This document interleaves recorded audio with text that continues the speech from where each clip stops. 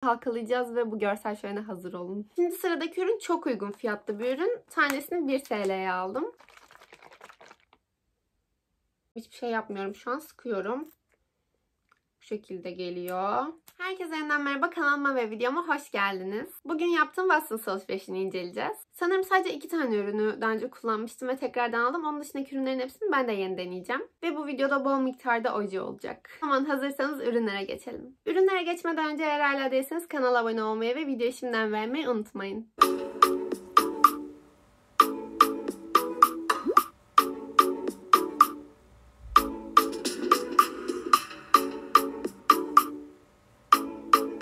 İlk olarak daha önce de kullandığım ve tekrardan aldığım bu buhar maskesiyle ilgili konuşmak istiyorum. Elsev Dream Long serisinin saç için kullanılan buhar maskesi. Yıpranan saçlar için olarak geçiyor ve aslında kullanan bayağı bir kişi bunu övüyor. Ama ben ilk denediğimde burada zaten sizinle deneyimlerimi paylaşmıştım. Çok fazla memnun kalamadım. İçerisinden krem ve bone çıkıyor ayrı ayrı. Kremi saçınıza sürdükten sonra boneyi takıp bekliyorsunuz. Daha sonra bone ısınıyor ve saçınızdaki krem saçınıza aslında nüfuz ediyor. Ben kullandığımda da acaba dedim ki hani bonede falan mı bir boşluk kaldı da ısınmadı. Çünkü o kadar çok abartıldı ki çok daha iyi bir etki beklemiştim. Hani tabii ki güzel bir şekilde yumuşattı falan ama daha iyi bir sonuç beklemiştim. O yüzden tekrar aldım. Tekrar kullanacağım. Kullanımına zaten değindim. Birazcık daha konuşayım. Üzerinden maske çıkıyor şu kısımda.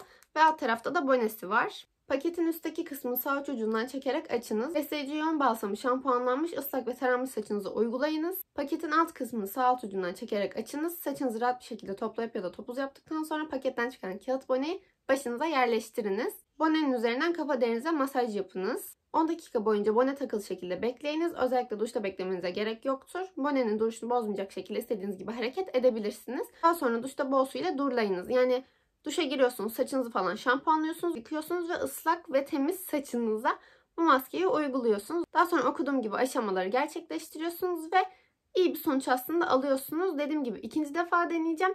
Bunda daha iyi bir sonuç alırsam size zaten yine anlatırım. Ama gerçekten ilki gibi bir sonuç alırsam üçüncü bu maskeyi almayı düşünmüyorum. Çünkü fiyatı çok da düşük sayılmaz tek kullanımlık bir maske için. Birazcık daha böyle uzun ömürlü bir maske alıp kullanmak daha mantıklı olabilir. Bu arada içerisinde bitkisel kaynaklı keratin, hint yağı ve vitaminler var. Saç telini yoğun şekilde besleyeceği yazıyor ve bakım losyonu içeren kendi kendine ısınan kağıt bone ısının mucizevi etkisiyle saçın yoğun bir şekilde onarılmasını sağlar yazıyor. Bu şekilde. Aldığım bir diğer ürün, daha doğrusu ürünler Sensodin'in bu diş fırçaları. Sadece renkleri birbirinden farklı. Onun dışında aynı fırçalar ve yumuşak yapıda olanlardan. Aslında bunlar bayağı bir indirime girmişti. Ya 7 ya da 8 TL'ye aldım. O yüzden böyle stoklu bir şekilde aldım. Uygun fiyata bulduğum için ve yumuşak fırçalar genelde bir tık daha yüksek fiyatlı olduğu için ve Sensodyne olarak da buluşken açıkçası bu fiyata kaçırmak istemedim. Diş eti bakımı yapan ve diş eti hattında hassas temizlik yapan fırçalar. Üzerinde farklı bir şey yazmıyor. Zaten diş fırçalarıyla ilgili aşırı bir şey konuşamayacağım. Önce Sensodyne'in fırçasını kullandım ve memnun kaldım. Bunları da dediğim gibi indirimde bulmuşken bu şekilde stokladım. Şimdi sıradaki ürün çok uygun fiyatlı bir ürün. Tanesini 1 TL'ye aldım. Bu duş boneleri. Paketin içinde 3'er tane var. Toplamda 2 tane aldım. 2 tane kalmıştı. Yani toplam 2 lira ödedim hepsine. 6 tane boneye 2 lira vermiş oldum. Duş alırken saçınızı ıslatmak istemediğinizde veya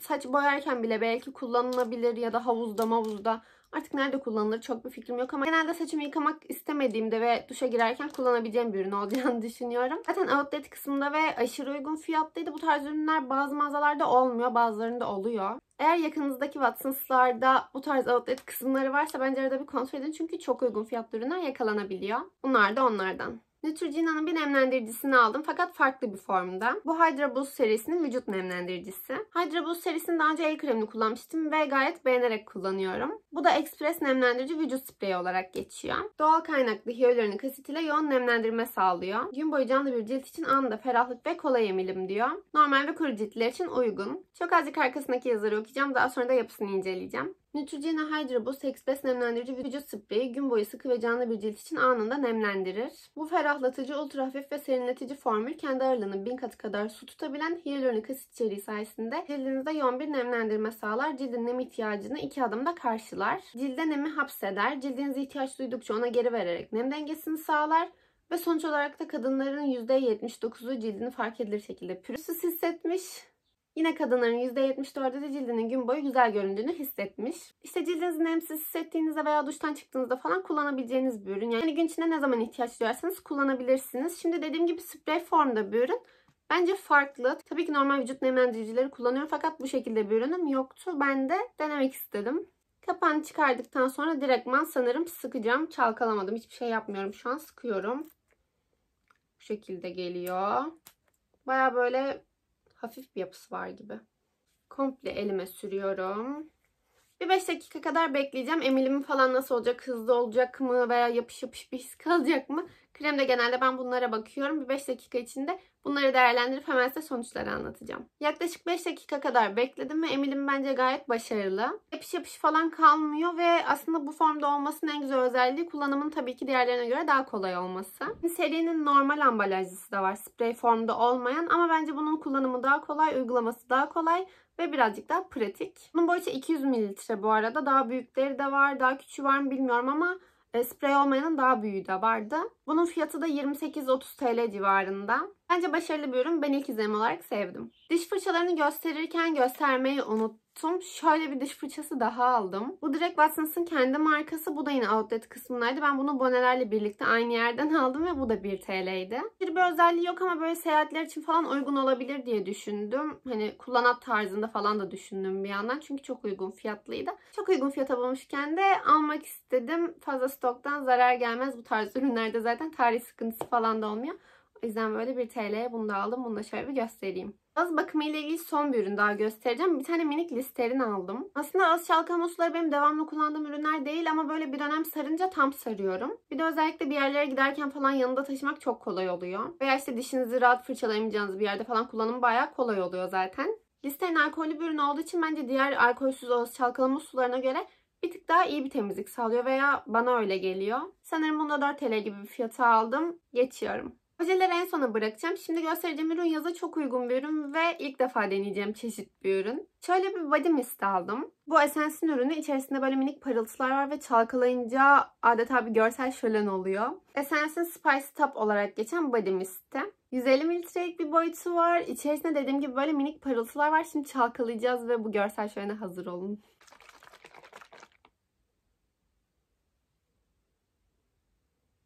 Böyle sim dolu tam yazın kullanılabilecek bir ürün. Denemedim. Şimdi sizinle birlikte ben de ilk defa deneyeceğim. Ana açıyorum. Tekrardan çalkalıyorum. Biraz da şöyle sıkıyorum parlamak adına. Işıltısı abartılı derecede değil. Böyle simli simli durmuyor. Çok minik ve doğal bir parlaklık veriyor bence. Siz daha net görüyorsunuzdur. Çok minik minik parıltılar veriyor. Asla abartılı durmuyor ve bence günlük kullanım için uygun. Ayrıca kokusu da çok hafif. Ben bunu indirimsiz fiyatıyla aldım. 17 TL olması lazım. 16 ya da 17 TL'ydi. Bence fiyatı da gayet uygun ve indirime girerse çok daha uygun bir ürün. Kokusuyla yapısıyla benden geçer not aldı. Bence deneyebilirsiniz. Elimde çok minik parıltıları kaldı bu arada. Onu şöyle göstermek istiyorum. Daha net görebilin diye. Şu şekilde. Şimdi gelelim ojelerimize. Golden Rose'un holografik serisinin iki ayrı rengini aldım. Şu iki renk. Şu 05 numara, şu da 02 numara. Alınca hemen şöyle bir tırnağımın ucunda denedim. Renkleri aşırı güzel. Böyle gerçekten hologram hologram duruyor. Ben şu 02 numarayı çok daha fazla sevdim. Çünkü birazcık daha doğal bir parıltısı var. Ama renkli oje kullanmayı seviyorsanız bence mora da şans vermelisiniz. Çünkü hem parlıyor hem rengi çok güzel. Gerçekten inanılmaz iyi duruşu var. Normalde bu seriler 25 TL falan civarında diye biliyorum. Günümüzde normal ojelerde 10 TL artık geçmişken ben Watson İstanbul'u gayet uygun fiyatla aldığıma inanıyorum. O yüzden böyle bunları da eklemek istedim. Çok üzerinde konuşabileceğim ürünler değil farkındayım ama yine hatırlatıyorum böyle outlet kısmı olan Watsons'lar varsa yakınınızda arada bir kontrol edin. Geçiyorum. Pastelin bu 54 numarasını aldım. Bunun için çok büyük bir söylenti var. Tam olarak protest tırnak rengi gibi duruyormuş. TikTok'ta falan bir ara inanılmaz viral olmuştu. Herkes deniyordu ve gerçekten duruşu çok güzeldi. Ben de dedim ki protezlerimi yenildikten sonra deneyeceğim ilk oje bu olsun. Normal şeffaf akrilikle yapmıştım ben tırnaklarımı evde. Üzerinde ben kendim bir oje sürmüştüm. Fakat sıradaki oje bu olacak ve gerçekten çok merak ediyorum nasıl duracağını. Zaten sonraki videolarımda muhtemelen denk gelirsiniz. Yine üzerine konuşuruz ama eğer gerçekten bu tarz temiz bir tırnak görünümü istiyorsanız çok pastel, çok soft, çok güzel bir renk. Golden Rose'un bir tane mini kojesini aldım. Şu Wow serisinden 33 numara.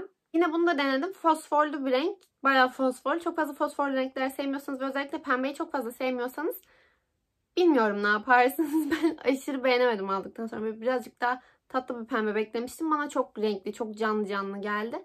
Zaten canlı olduğu belli ama bir şans vermek istemiştim. Ben aşırı beğenemedim. Benim çok günlük hayatta kullandığım bir tarz renk değil. Ama böyle şişesi falan çok minik tatlı duruyor ve diğerlerine göre gerçekten baya baya küçük. Seyahatlerde falan yanınıza alabilirsiniz diğer renklerini bence.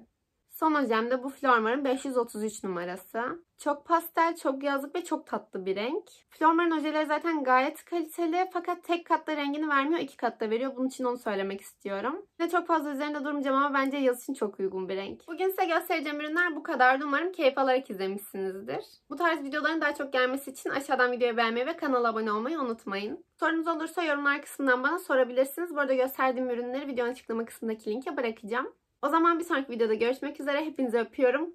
Hoşçakalın.